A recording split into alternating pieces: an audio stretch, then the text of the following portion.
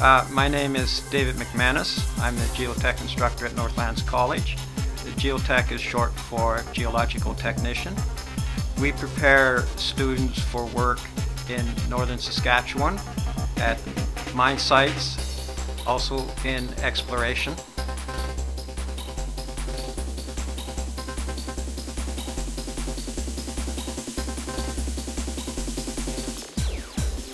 The students here are very much hands-on. It's not a, a textbook course, uh, pencil paper type course. Uh, we get the students into the field, uh, into the core lab. The purpose is to prepare students for uh, jobs so that they are turnkey, meaning that uh, when they get to the work site, with just a little bit of training, they can actually do the work.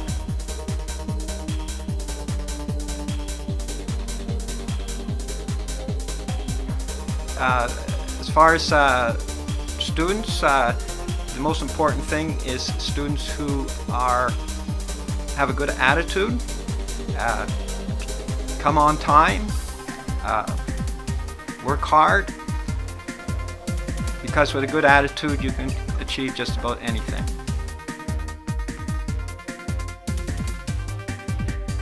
Uh, the prerequisites, uh, you need, uh, uh you know, high school math and, and uh, uh, chemistry, English.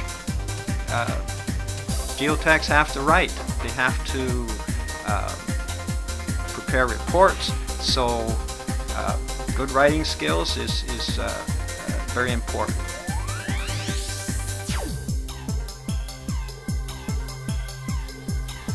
Uh, this program is um, is a great program for people who want to get into the workplace quickly and uh, make a good salary.